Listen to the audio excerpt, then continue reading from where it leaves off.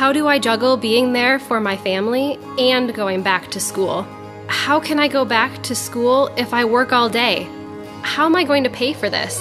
At Cornerstone University's Professional and Graduate Studies, we've got you covered. We know you're busy. That's why our programs are designed to fit your schedule.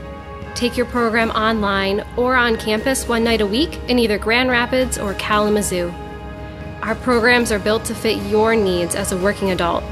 88% of our students work full time while gaining their degree, and with faculty, peers, and curriculum that are focused on immediate applicability, you can use what you learn on the job now. Our degrees are affordable, and you can pay one course at a time. In addition, financial aid is available. Over 74% of our students receive it. Cornerstone University. Let's get started.